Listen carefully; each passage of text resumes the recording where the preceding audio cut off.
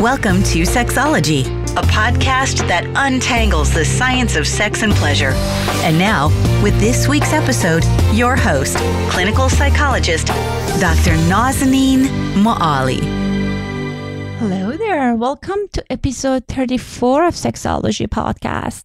I'm your host, Dr. Nazanin Moali. Thank you so much for tuning in. Today is my birthday, and I'm super excited to share my birthday with you guys and celebrate it by uh, recording a podcast. And during the weekend, my sister and I, we went skydiving as a way to celebrate the birthday. It was fantastic experience. There's something very empowering about facing your fear. A few months ago, I was in Chicago and I went to the Sears building and they have this like glass floor that I'm sure many of you guys probably heard about it or you went there and I looked down and I saw I was horrified. I never, I didn't know I was scared of height until that moment. So in that exact moment, I said, I'm going to do skydiving for my birthday because to me, it's really important to face the challenges and fear. And there's just something amazing about doing something that you're scared of. So I'll post some uh, pictures in the show notes and I want to ask from you for a gift since it's my birthday, I would love it if you give me gift of honest review on iTunes. I know it takes a couple minutes, but it means a lot to me because I want to make sure that I'll reach a broad audience. I'm very passionate about spreading the sex positive sexual education around the globe because growing up, that wasn't something that was available to me in Iran. And that's why I'm doing this show. And that's why I'm passionate about this topic. Anyhow, today we're going to talk about integration of mind body when it comes to addressing sexual challenges or when you want to improve your sexual health. Why it is important to not only focus on our thoughts, but also tune in to our body. Our guest today is Dr. Janet Brito. Dr. Janet Brito is a licensed clinical psychologist and a licensed clinical social worker in Hawaii. She's an AASECT certified sex therapist and a graduate of the fellowship program in human sexuality at the University of Minnesota Medical School, one of only a few university programs in the world dedicated to sexuality training. Currently, she's the founder of the Center for Sexual and Reproductive Health, where she specializes in the areas of relationship and sex therapy, gender and sexual identity concerns, out of control sexual behavior, non traditional relationships, holistic sexual health approaches, and infertility. To learn more about her practice, check out her website, sextherapyhawaii.com. Here is my conversation with Dr. Janet Brito. Welcome back to another episode of Sexology Podcast. As I mentioned during the introduction, I'm very excited to have Dr. Janet Brito in our show today. She's a psychologist and a sex therapist, and I'm so excited about our conversation today. Dr. Janet, welcome to our show. Thank you. Thank you. I'm so excited to be here with you too. Thank you for accepting our invitation. I was sharing with you that like after we talked on the phone, I looked up the some of the presentations you had online and that was very interesting yeah, I, I, I'm very passionate about this topic and this subject and how to incorporate the body into sex therapy because most of my training has been more on CBT, and I, I think that's really effective. But the combination of the two, of CBT, cognitive behavioral therapy, and mind body approaches, really work really well. I am so glad that you're talking about it, you're increasing awareness about this added feature added part of the therapy that can people kind of incorporate because based on my experience i mean with sex therapy obviously it's mostly talk therapy but i know when it's only we're focusing on thoughts not paying as much as attention to the body uh, we're not necessarily tapping to all the things that we can use to help people improve their well-being. Absolutely. Exactly. So it's just adding another another help, another way of helping people dealing with sexual concerns to heal, including Absolutely. the body. Yes, and you know one thing that these days is a buzzword, and but I, I'm sure many people are not familiar with it. It's a mind body approach. Since that's area that you extensively use in your practice, so help us understand it more. What is mind body approach? A mind body approach is a way of incorporating the body and helping the body to relax. So it's it could be either mindfulness, it could be a way of mi- mindful eating, it could be yoga, it could be meditation, it could be qigong. There's many way and one many modalities to use to help the body to relax in order to be able to be present during sexual experiences, especially for those who are very anxious or are having um, low libido or sexual pain. It can be a, it could be as a as a guide. It's like gives you some awareness about what's happening in your body so you can be present in that experience. That is so interesting because I feel that, as I said, when we're focusing only on the one aspect, which is thoughts and cognition, we're kind of losing perspective on other aspects that are important. I know with my clients, when I send them to like dance movement therapy, different kind of things that kind of help them to be more in tune in their body, it's really helpful. Mm. So I'm a mm. believer, believer of holistic medicine. But when it comes to holistic medicine and alternative medicine, I know people are tend to be skeptical. So is there any research that supports the efficacy of this approach for sex therapy? Yeah, good point. I, I hear you on that. I know there's a lot of uh, concern about mindfulness with sex therapy and mind body approaches and their whether they're evidence based. And they're, they're, although it's in kind of the baby stages and there's not a lot of research there are, there are some pilot studies. There is some research out of the University of British Columbia and uh, Canadian psychologist Lori Brotto and a lot of my training came from reading her articles and using her manuals because she really has um, has some great results on the efficacy of mindfulness based interventions. She actually combines the CBT with the mindfulness, and it has really shown to improve in the areas of decreased sexual distress, improve uh, sexual arousal, increase in sexual desire. So it just somehow has there. There's no way. I mean, it's hard to really measure these things, but based on her studies, there has been some positive results. It's wonderful to hear. And I know when it comes to grants and fundings for research, sexuality usually doesn't get as much funding as anything else. But I'm glad that you mentioned there have been some studies that they kind of looked into mindfulness and like sex therapy and the positive impact of it. Yeah, actually, in my research, I went to uh, Pacifica Graduate Institute, and a lot of the focus is on depth psychology, and they do talk about kind of the the body um, as a way of, of healing. And actually, it used to be more research, like Eastern medicine approaches incorporate the mind body spirit connection. And I think it was with time that, that the mind and the body got separated as two entities. And so now it's like we're trying to get back to how do we incorporate the body back into healing? Because I think it's really essential. It doesn't have to be two separate things, especially since we're walking around and using our bodies all the time. Why can't we use it to our advantage as giving us clues as to what's happening in and outside of the bedroom? So the research is slowly emerging, and thankfully so, because I think we've really gotten far away and it's gotten too scientific, and the body isn't a machine or a it's not a machine that you can just fix and move parts around. It's an organic being that needs nurturance and support and needs to people need to be viewed as whole people, not just like parts. Yeah, and that's an excellent point because I feel when it comes to like more traditional kind of therapy, I mean like more like a medical base, the idea is that you change your thoughts so you can change your body and like emotions around sex and everything. And we kind of sometimes look at our body as our enemy. I want to have right. good relationship. I want to have good sex, but my body, I have this pain or it's not working. Instead of kind mm. of, as you said, tuning into what's going on in my body and using it as a guide, we kind of seeing it as our enemy.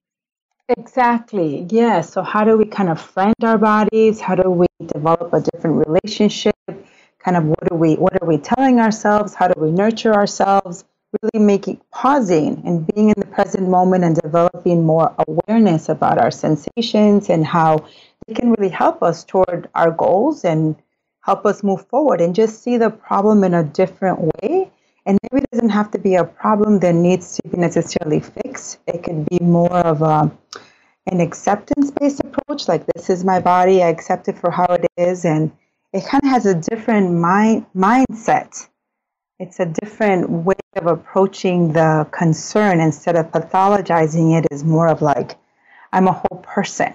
And if things are off balance in my life, whether it's at work or with my family or I don't have enough hobbies or my spirituality, all those aspects contribute to this like my body being off balance or me not feeling too good. And then that could affect what your relationships with your sexual self or with your partner.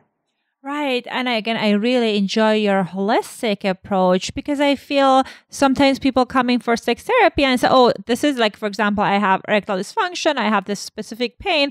I just want to focus that on that and resolve it. But sometimes what other uh, when other stuff is happening around them and outside the bedroom that impacts all of those challenges. Absolutely. And I think sometimes people are relieved to know that it's not just targeting that one specific problem, but that there's other things maybe in your life that are off balance. So maybe can give them more hope that, oh, actually, if I kind of improve this area and maybe start going to yoga or going on walks or watching what I'm eating or having spending more time with my friends, somehow those other areas in their sexuality become more can become more balanced.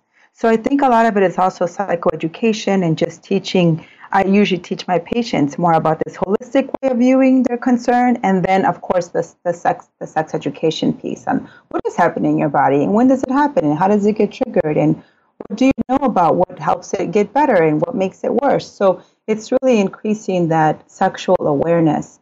But I think to do that, it's the mindfulness is the important piece. Really pausing and learning to have a different relationship with your body, tuning in to know what's happening.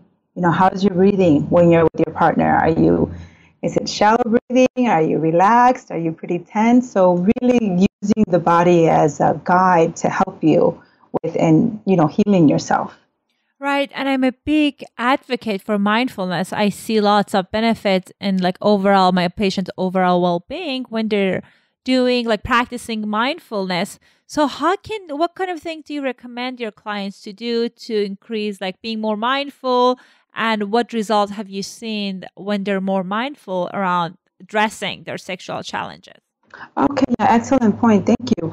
I do a lot of um, education and mindfulness. We could do it together in the room so I could help them by, let's say, let's pause now and let's focus on your breathing now. It's just one, maybe 30 seconds, just on the inhale and the exhale. And I know sometimes it seems strange or people are like, what are we doing? But I'm like, just let's pause for a moment right now and see what's happening in your body. And because a lot of times people are not really in tune with with what's happening, their, their breath. So, and then we translate that to outside of the therapy room. So, when you're driving in your car, usually you go on auto mode. So, let's switch that and let's focus on your surroundings and your five, what, use your five senses. What are you observing? What, are, what, are, what is the smell? Um, what are you hearing? So, then it's a little bit longer, like a minute, you know, two minutes. When you're at the grocery store, you know, how are, how is your breathing there? So, then these little neutral zones and non-threatening environments and you begin to focus on your breathing then it's like okay in the bedroom when you're with your partner or when you're thinking about sex let's let's compare it well how's your breathing then how are you um, is it shallow is it you know slow so it starts off in the therapy into like real life situations to that more stressful environment, which for some is in, in, in, you know for sex, and incorporating that breath work in there, and then it starts to increase from five minutes to ten minutes to thirty minutes per day, and then really focusing on the sensations in the body. Let's say, well, in the shower, to a genital A mirror exercise. So, you're using a mirror to look at your genitals and then just observing, not judging, really being kind and curious and open to seeing what's happening. If I'm looking at my vulva or I'm looking at my penis, how am I feeling? How's my breath? So, it's just giving us information. And so, once we have that kind of awareness, it can really um, expand the, the sensuality and then as in addition to really what you're telling yourself. So if you're telling yourself, I'm a sexy being, my body is alive, I'm so sexual, I go with the flow of my sexual energy, while you're being aware and tuning into your body, it can really kind of make a difference because then the feeling will follow. The belief is like, oh, I have this mantra, I have this belief, and then the feeling can follow of like, hey, I'm feeling positive about my sexuality. I want to connect with my partner. So it kind of has a whole kind of um, integrative approach, I guess. Is that no? I love it. No, I yeah. think that is just fantastic because sometimes I always give assignment to our to my clients as well with mindfulness. But I feel, I like that you're adding on like a mirror exercise so they can transition that in a safe environment to kind of introducing it and integrating it to their uh, sex life with their partner as well. But sometimes when it comes to sexuality, I hear because partly because of the messages people got from the society, early childhood, when it comes to it, they feel this very intense shame about yeah. their body, about being sexual, and that just that's just so painful for them. They just start checking out. How do you yeah. usually approach that? Yeah, that's a really challenge. Sexual shame is so debilitating and it's so and it's so painful. And I really I validate and I really acknowledge that it's it's it's difficult and it's painful. So baby steps. I'm like, we're just planting seeds and we're in a scavenger hunt. Right. And my hope for you is that one day you will have some self acceptance about your body and that your relationship to it may change to a more I'm, I'm introducing you to a more sex positive idea. It may not be the idea, it's just another idea for you. I know it's been more, you've had more restrictive views on your sexuality, and, and that made sense at the time. But at this point, it's interfering with you in your life, and it's just not making you feel good. So it's more about like, it's just another idea. And when you're ready, we can move to the next step. So I really meet them where they're at. I'm, I don't try to be pushy and instill my my views. I just provide a lot of education, and with time, it's like, oh, oh, that that kind of makes that kind of makes sense. If I just pause, I don't have to do anything. I can just be. You know, I'm like, we're detectives here, so we're just kind of exploring. And if you have a lot of judgment coming up, oh, we're noticing that. That that's okay. I don't. It's like a weather system. It's like clouds. We're just noticing them and we're not attaching any negative or positive value to it. It's like imagine yourself sitting on a bench and you're just watching these thoughts. And it's like, oh, okay, interesting. Thank you. Moving on. So I kind of try to be just gentle and like just normalize because I know sexual shame can really just debilitate people and it's very hard to to transition from that mindset, especially when you receive those really negative, restrictive views on sexuality. And so, yeah, I take just kind of take it take it slow and one one minute at a time. I go just just little baby steps. I agree with you because when it comes to the mindfulness, just these uh, exercises can be very challenging to do it, and also because it takes a while for people to see the results. I know sometimes my client feel discouraged. It's like, oh, I tried five days and I didn't see any changes. These are the things that works long, long term. And I mean, research shows that it changes your brain chemistry and uh, uh, connections and everything. So I love Absolutely. that. Yeah, you're talking about like small steps, hopefully long term, it will uh, result in changes. Yeah, and then I, you know, I then just insert some um, more education. Like I may share some of the research from Lori Brotto, or I may recommend an article just to balance it out. I'm not just talking this out of my, you know, just out of the air. It's like this has helped some other women, other people with similar experiences. It may help you if you're open to considering it.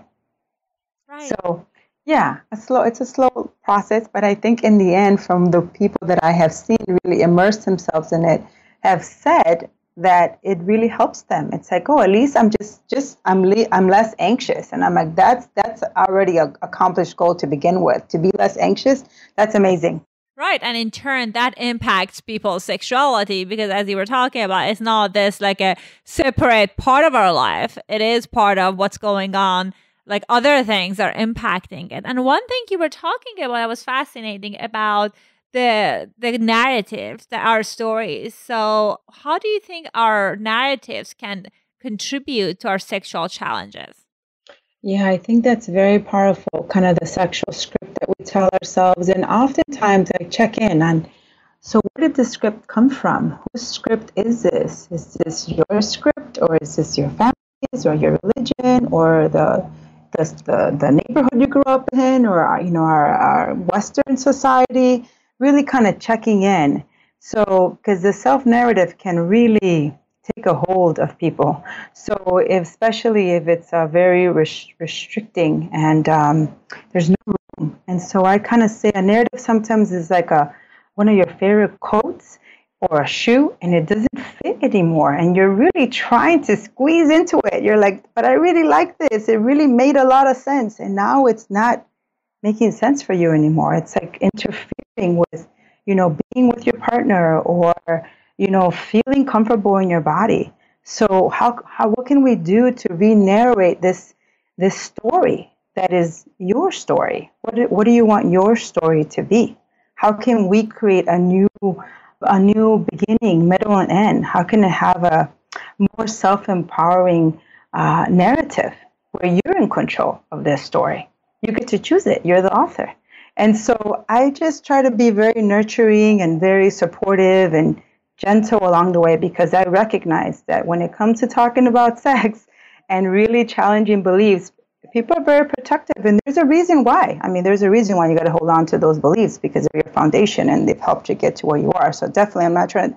I'm like, we need to keep them here. I mean, this is what's helping you along the way, but we also want to introduce new ways, especially because of why are you here and what's your purpose. So if that's your purpose is to enhance and improve your sexual well-being, then this might be a way to kind of help you feel more in control, more more empowered, and more comfortable with just being you.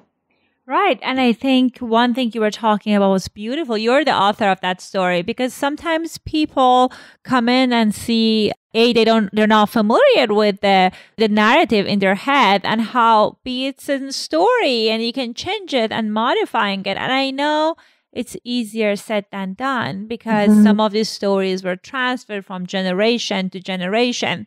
So it turns to this mm-hmm. true, but sometimes with the mindfulness practices that you mentioned, I know it helps people to kind of recognize this is, oh, this is the story of good girls don't have sex and kind of mm-hmm. acknowledging that and saying, as you said, whether it does it, how does it fit in your life right now?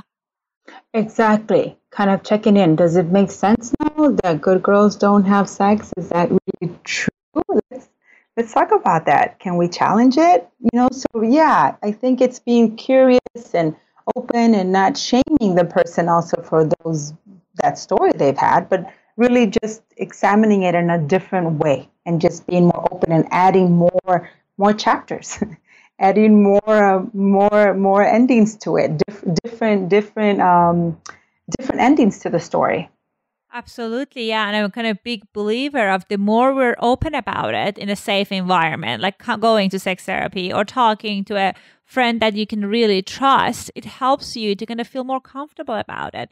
Because when the more we keep this thing as a secret, then the shame part of oh. it it gets bigger. Exactly, and that's what I when you as you were talking, that's what I thought. The secrets and the shame, and how secrecy really is the home. Shame and secrecy go together, right? It's like it's like it just keeps brewing. The more secret you have, the more shame there is, and then it's just you're alone by yourself, isolated, and you think you're the only one having this experience. So if you can share your story, it's like, oh, I'm not the only one that's having this experience. It's okay. You're kind of liberating the shame by revealing the secret.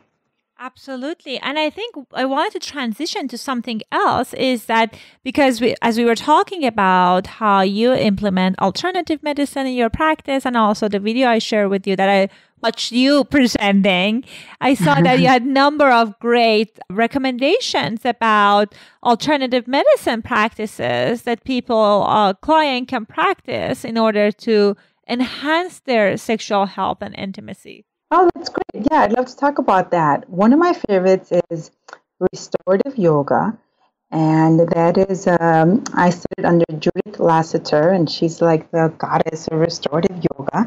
It's really helpful because it's all about providing comfort. And it, it, it comfort in a dark, because you want to cover your eyes in a dark, relaxed room. And you're doing using a lot of props to support the body and this promotes relaxation. So if you do it for about 15 to 20 minutes, it triggers our parasympathetic nervous part of the, part of our nervous system. So it can really just just help you to relax. And if you can relax your body, because I tell my clients, sex is all about relaxation. So if you're totally anxious and totally really just judging yourself on how you're performing or whether you're not performing or what, you're not going to be able to relax. So restorative yoga is a way of helping people relax, come into their body, and it's just so it's so comforting. I do it all the time. 15 minutes, put a whole bunch of pillows and put a little eye pillow and you're like, "Oh, this is like zen, instant zen." It's it's magical. You can also do legs up the chair, so you put a chair and put your legs on it, legs up on the chair or legs up the wall. So these are some positions that uh, yoga positions that are done in a restorative way. So you're not doing like this is not for core strengthening or you know uh, enhanced muscle definition. This is all about relaxing the parasympathetic nervous part of the nervous system. So that's one that I really like and I really believe in. The other one is um, acupressure. So um, I was doing, I, I, I really believe in acupuncture. Acupuncture uses needles to uh, touch on certain meridians of the body to uh, promote healing. And you need somebody to do that for you. But for acupressure, you can do that on, on your own. So this again taps on the certain meridians of the body. So one of them that's known to enhance sexual health and intimacy is by placing your thumb or a middle finger between your eyebrows at the root of your nose. And then you apply just gentle pressure to this acupoint for 10 minutes. And then it just kind of focus on your breathing. And you can also tell yourself a um, affirmative, uh, positive mantra. You know, like I'm a, I'm a, I'm a sexual being and it's okay to be me. Something like that. You can also do this with your partner. So you both can apply the acupressure points to each other and really kind of promote that kind of eye gazing connection, intimate, sensual, uh, pleasure based experience versus like focusing on like, oh, we got to get this right or I need to please you. This is not about that. This is just about focusing on that moment together. And the last one would be probably like mine, like food is medicine. So really kind of focusing on aware of what you're eating because I do believe that you are what you eat. And definitely, if you're eating a lot of junk food, it can affect how you feel. And I know a lot of my patients are like, we just don't feel good. I'm not getting enough exercise. I'm eating, you know, fast food. And definitely, I'm tired and I don't want to be, I don't feel sexy and I don't want to be sexy. So, really kind of, okay, let's get back on here some walking, some mindful eating to kind of promote more energy yeah, I think were those kind of what you're, maybe I missed some. No, absolutely. I think I love that when you were talking about acupressure. Actually, I like all of them. but with the acupressure, I was like, when I saw you presenting on that, I was trying it. I was interesting. That's to see, okay, that's something you can do. And it can be kind of, you can compare it with kind of a positive affirmation you mentioned. So I, I've been practicing it since last week to see uh, how is that. Yeah. I was like, oh, this feels really nice. I should do this every day. right. No, I love that. And I think yoga, just as you mentioned, especially the restorative yoga, is really important because I know in this society, all like the, at this time, everyone want to kind of get fitter under a kind of muscle definition, which is okay. But then it's important to pay attention, do things to reduce your stress. So I think Absolutely. definitely, yeah, the yoga part is important. As far as the food, also, I, I like that you were talking about food that can help with like overall im- improve overall well being. Is that and I, you know it's interesting because sometimes I I hear they say, oh, this this food specifically it's good for like sexual well being. Is there any research on that, or is just more about eating like wholesome foods? I think there's some research more on like um, sup- supplements. So, like, let's say ginseng. Uh-huh. Like, ginseng can promote like your libido, or like uh, foods with vitamin E or su- vitamin E supplements. They can also help with improving your um, your libido, your sex drive. So, or I think that's maca improves your sex drive, and vitamin E is supposedly it's supposed to help with um, improving uh, kind of like vaginal health as far as arousal. So I don't know much about the particular foods. I know there's like aphrodisiacs. Right. You know, I hear about that. Oysters. You know, that's supposed to promote, you know, more sexual aliveness. But I would think it's more about wholesome foods because of the way it kind of energizes you. But I don't know what the research is necessarily on. Certain foods promote, you know, better sexual satisfaction. But that would be a good study. yeah, but that's I, I absolutely on board with you when you talk about that, like you know, eating wholesome food and food that are good for your body can help your overall health, which in turn improve your sexuality, and you, because you're feeling better, the better you feel, better uh, like overall health you have, and you'll hopefully be at least more sexual and alive. Right, right. It's that self self nurturance. It's really how you take care of yourself. I think it really impacts on how good you feel about your body, how connected, how like in tune you are, and then you're going to be more likely to want to share a moment with somebody else. Absolutely. So, Dr. Janet, thank you so much for your time. What are the best ways for our listeners get a hold of you? Oh yeah, I'd love for people to visit my website, which is sextherapyhawaii.com. And I also have this amazing Facebook page uh, where I post a lot of related sexual health articles on sex, gender, and reproduction. And so it's very, it could be uplifting. You could be more aware about anything related to sex. So please follow me on Facebook at uh, Dr. Janet Brito and uh, find me on my website at sextherapyhawaii.com. Wonderful. So I'll make sure I leave a link to those information websites in the show notes. And thank you so much for your time. It was Thank absolutely my pleasure. Thank you so much. Thank you. Bye bye. Bye. I hope you enjoyed my conversation with Dr. Brito. I loved her mind body approach to sexual health and wellness. And I think it's such an important part of treatment is to attend to your body, psychological well-being and mental uh, wellness. Because sometimes based on my experience, when my clients only go to their urologist or gynecologist and try to solve the sexual challenges with a medication that's oftentimes is a band-aid solution and doesn't address the issue in a meaningful way and oftentimes the challenges resurface Anyhow, this was our show for today. And please don't forget to record your questions in our podcast website so we can feature it and answer it. All right, I'll talk to you next week. Thanks for listening to Sexology Podcast. For more great content, visit www.sexologypodcast.com. Please be advised that information presented on this podcast is not a substitute for seeking help from a licensed mental health provider.